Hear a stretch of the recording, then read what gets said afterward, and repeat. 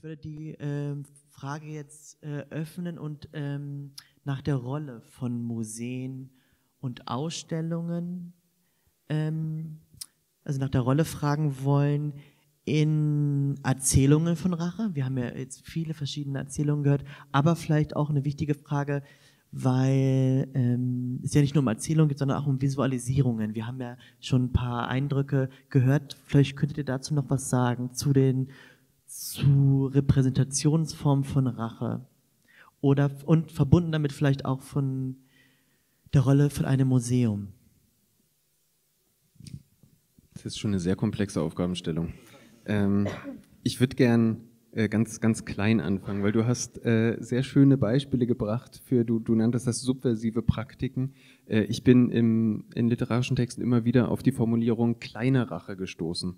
Also so, so Handlungen, die eben nicht gewalttätig sind äh, und trotzdem aus diesem Impuls des äh, eine, einer Ungerechtigkeit begegnen, äh, erwachsen und dann häufig eben als kleine Rache bezeichnet werden. Ähm, genau sowas. Ähm, man übersetzt nicht äh, genau das, was gesagt wurde. Oder äh, in, einem, äh, in einem jetzt auch dieses Jahr erschienenen Roman eines äh, israelischen Schriftstellers in Berlin gibt es einen Satz, wo die Erzählerfigur sagt, ein Freund hat ihm mal erzählt, seine Rache für die Shoah wäre es, in Deutschland, in Berlin immer ein bisschen Plastikmüll in den Papiermüll zu tun und umgekehrt, um den Deutschen den Selektionsprozess zu vermiesen. Und das sind, das sind natürlich, also im, im antiken Sinne ist das keine Rache, weil niemand erfährt davon und keiner weiß es und niemand kann was daraus lernen. Aber diese kleinen Praktiken, dieses Subversive, was mehr was mit Genugtuung ist übrigens ein Begriff, über den wir noch gar nicht gesprochen haben, äh, was mit, mit Genugtuung zu tun hat, zu wissen, dass man das getan hat.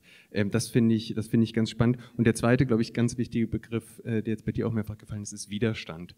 Ähm, das fiel mir auf in der, in der Mangabell-Ausstellung hier im Museum, gerade bei den, bei den Kunstwerken, bei diesem Künstlerkollektiv, die dort mit ausgestellt sind, ist in der Anfangsbeschreibung taucht, glaube ich, zwei, drei oder sogar viermal der Begriff Widerstand auf. Und das ist eine ganz wichtige Abgrenzung. Ähm, ich glaube, zwischen Widerstand und Rache sind die phänomenologischen Unterschiede gar nicht so groß, aber es sind äh, ganz andere Deutungen. Also da hängen andere, äh, andere Bewertungen dran. Ähm, und das hat, und da hast du, hast du völlig recht, das hat ganz viel damit zu tun, wer wann zu wem spricht und sprechen darf. Also aus welcher Position heraus äh, über Ungerechtigkeiten gesprochen wird. Ähm, und da kann sich Max Czolek ähm, als jüdische Stimme in Deutschland es erlauben, in seinen äh, Essayband ein ganzes Kapitel über jüdische Rache zu schreiben und jüdische Rache zu fordern und sich als Inglorious Poet in Anlehnung an Tarantino zu bezeichnen. Das kann der machen, ähm, weil er diese Position hat ähm, als jüdischer Autor in Deutschland. Und man konnte in den letzten Wochen sehr schön beobachten, wie sich das deutsche Feuilleton gefreut hat, äh, als sie diese Position von ihm äh, dekonstruieren oder destabilisieren konnten, äh, indem sein Jüdischsein in Frage gestellt wurde. Weil genau es geht um diese, um diese Macht oder diese Position im Diskurs. Und das ist, glaube ich, ein Grund, warum wir ähnliche Äußerungen von schwarzen Autorinnen in Deutschland äh, nicht oder deutlich seltener und leiser zu hören bekommen. Was nicht heißt, dass diese Motive unter anderen äh, Begrifflichkeiten vielleicht nicht trotzdem in der, in der Literatur und in der Kunst zu finden sind. Ich glaube, man würde das auch oben in der äh, oder, oder drüben in der, in der Ausstellung äh, so lesen können, wenn man das, äh, wenn man das möchte. Vielleicht kann ich da anschließen, weil mir ist eben auch, während äh, ihr gesprochen habt, dachte ich so, ähm, eine Gemeinsamkeit ist, ist, tatsächlich die Frage, wer spricht, wer erzählt da und wer spricht auch für wen. Und so lässt sich vielleicht auch der Bogen schlagen ins Museum, weil sich da ja auch immer die Frage stellt, wer stellt wen aus und sozusagen mit ähm, welcher Autorität. Ähm. Und das ist, wenn es um Rache geht, ist es natürlich knifflig. Also einmal, weil die Abgrenzungen schwierig sind zu Widerstand, weil damit immer bestimmte Zuschreibungen verbunden sind.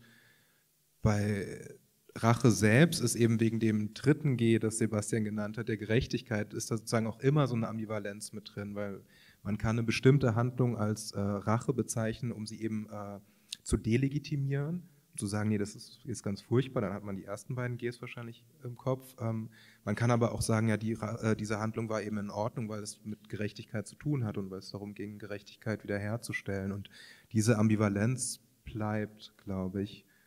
Mir ist jetzt äh, noch ein anderer Begriff eingefallen, äh, und zwar der der Selbstverteidigung, weil ich sehr angetan bin von einem Buch einer französischen Philosophin, Elsa Dolan, die die Frage stellt, wer, ähm, welchen Körpern, äh, welchen Subjekten wurde überhaupt das Recht ähm, zugestanden, sich selbst zu verteidigen und welchen nicht. Und da gab es natürlich auch historisch ähm, äh, extreme Unterschiede. Wir müssen im Museum bleiben, wir müssen mehr ins Museum rein, glaube ich. Darf ich vielleicht da direkt zum Museum äh, äh, anschließen, weil das, glaube ich, wirklich etwas ist, was Museen leisten können, ist nämlich, äh, du hattest, glaube ich, auch davon gesprochen, Geschichten zu erzählen, die unbekannt sind. Ähm, also überhaupt erstmal Widerstandsbegebenheiten äh, ins Bewusstsein zu holen, zu erzählen, was die Kolonialisierten gegen ihre Unterdrücker getan haben, äh, zu berichten, dass es bewaffneten jüdischen Widerstand während des Zweiten Weltkriegs gab.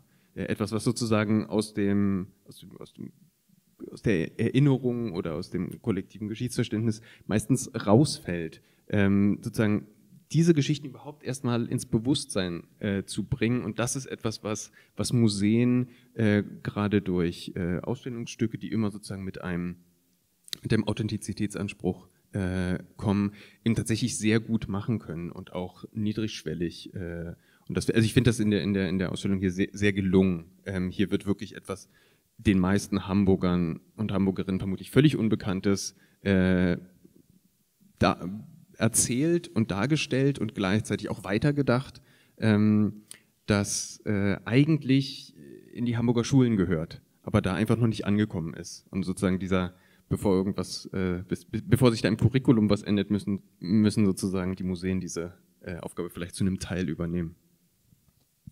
Ja, vielleicht kurz dazu. Ähm, es ist ja ganz schön hier in der Ausstellung, wenn man sich das anguckt, ähm, dass ähm, äh, äh, Bell ja sozusagen ähm, in, in, in Deutschland sozusagen auch erzogen wurde, teilweise auch in juristische, wenn man das ähm, äh, sozusagen glauben mag, äh, in, in juristischen Vorlesungen gesessen hat. Und er geht ja einen Weg, er geht den diplomatischen Weg, er geht den Weg des Rechts. Ja? Er versucht sozusagen Rechtsmittel, Petitionen etc., da muss ich gleich an Michael Kulas denken, das wird dann nichts, aber ihm bleibt sozusagen die, äh, das ist ja auch ein Moment des Widerstands, aber mit anderen Mitteln. Er geht also diesen Weg und der Weg schlägt fehl. Ja, da hätte man wahrscheinlich ähm, ne, der gewaltfreie Widerstand ähm, äh, äh, bewirkt da dann leider doch nichts und führt dann ja letztendlich äh, noch ähm, zur Anklage und zur Exekution. Also genau ähm, äh, das Gegenteil, was da entwirkt wird. Ich möchte noch mal auf das Verhältnis auch ähm, zwischen Recht, Gerechtigkeit und Rache.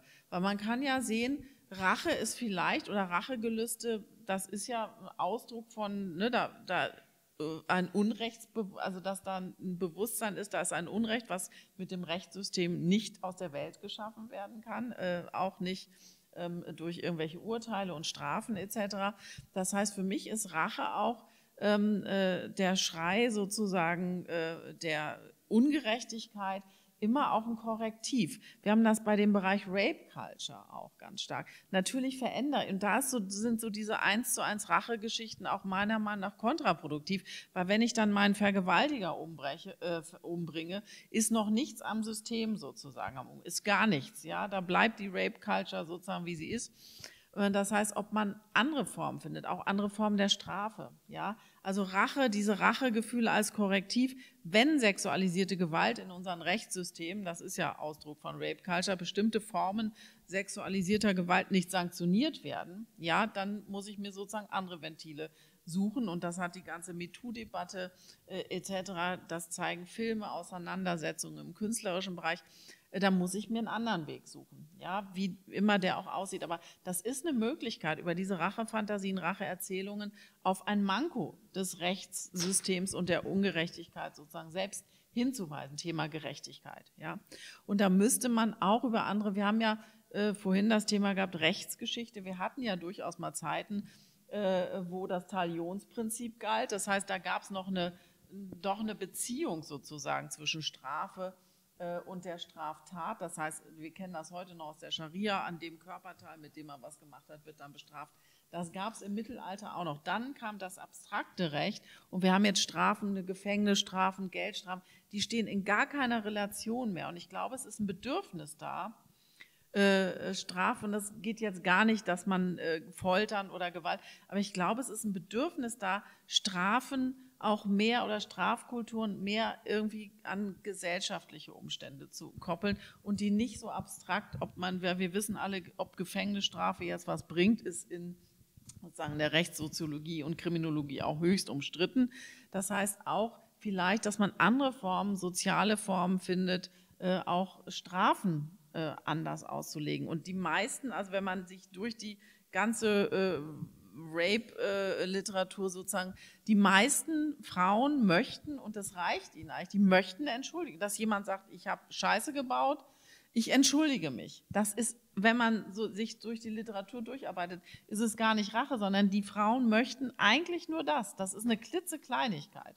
Ja, eine andere Form äh, von Strafe oder Rache, die eine ganz, so wirklich eine kleine Form der Rache. Das ist alles. Wenn wir das ermöglichen könnten, äh, viele schon viel äh, Frustration und Ungerechtigkeitsgefühl weg. Danke, Susanne.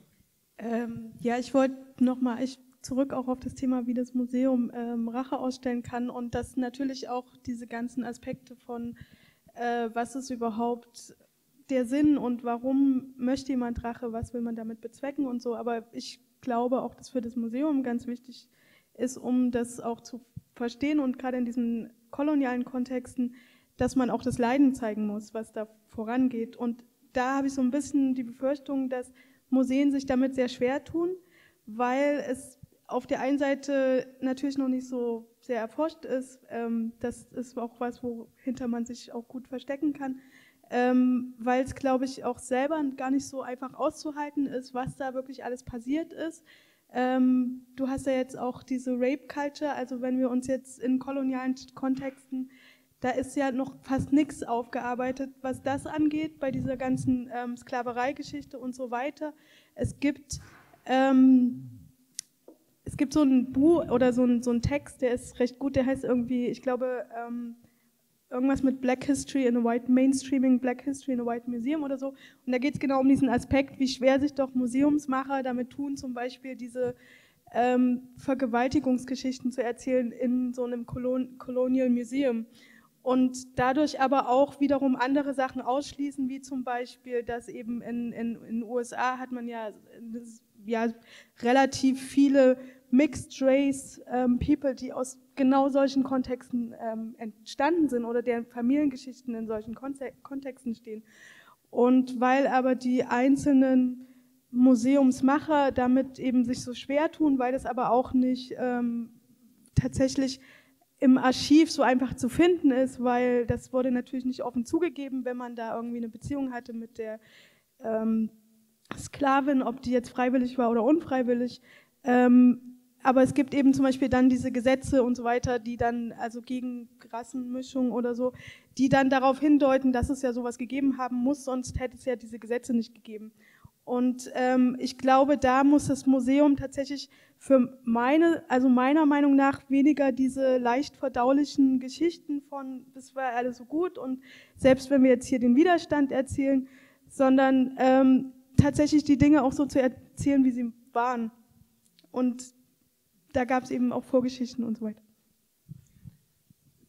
Äh, um da vielleicht gleich eine, eine gewissermaßen interdisziplinäre, intermediale Lanze zu brechen, da kann, glaube ich, das Museum das eine oder andere aus der Literatur äh, durchaus lernen, weil, also ich war jetzt nur am Beispiel hier bei Sharon de Otto, wird genau dieses Leid, äh, wird diese, diese problematische Gewaltbeziehung im, im kolonialen Kontext, im äh, Westafrika im 15. Jahrhundert mit den Portugiesen, die da kommen, äh, wird einfach erzählt und es ist schwer auszuhalten, ähm, äh, das zu lesen. Aber wie, wie sowas erzählt wird und im Film äh, gibt es sozusagen da auch äh, Mechanismen, ich äh, in Filmwissenschaften heißt das Robespierre-Affekt, ähm, dass, man, dass man das Leiden und die Ungerechtigkeit zunächst einmal wirklich zeigen muss, um, um das Publikum mitzunehmen, um dann an einem späteren Punkt auch die, nicht nur die Rachegefühle, sondern gegebenenfalls dann auch den Racheakt, also den Gewaltexzess, verständlich und nachvollziehbar zu machen.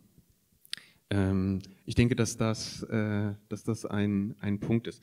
Und äh, was ich äh, nochmal nur unterstreichen möchte, ist, dass man tatsächlich aus, aus Gesetzen, ich habe das am Anfang versucht mit diesem äh, biblischen Gebot zu zeigen, dass man aus den Gesetzen sehr, sehr viel ableiten kann darüber, was zu einem bestimmten Zeitpunkt in der Geschichte üblich war und passiert ist. äh, Wenn es äh, nicht passiert wäre, hätte es keine Gesetze dagegen gegeben. Also es gibt aus dem, aus dem Mittelalter gibt es diese wunderbaren äh, Sündenregister, diese, wie heißen die, Pönale, ähm, wo lauter Sexualpraktiken aufgelistet sind und wie viele Ave Maria und Vater Unser man beten muss, wenn man die getan hat. Man lernt da nicht so viel über die Beichtpraxis, man lernt sehr viel über die Sexualpraxis des Mittelalters anhand dieser, dieser Strafregister.